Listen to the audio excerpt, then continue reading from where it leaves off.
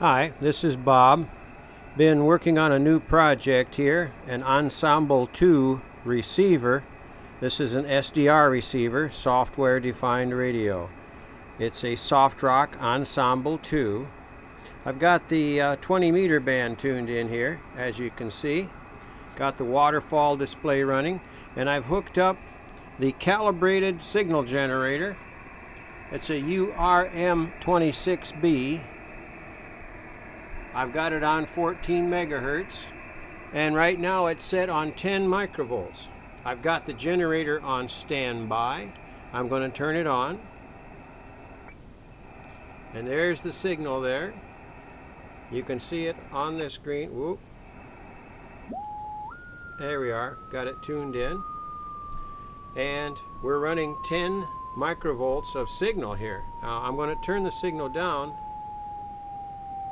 one microvolt. That's the generator drifting because I just started the generator up. Three tenths of a microvolt. One tenth of a microvolt. I just wanted to show how sensitive this little Softrock receiver is. It's really neat. Now, I can tune. There's a little red. I don't know if you can see it there there's a little red bar down here.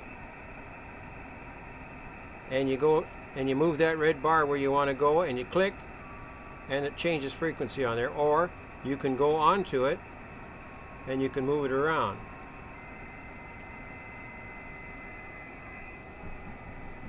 But that's one tenth of a microvolt signal I'm putting out from the generator Fantastic. I got the generator all the way down.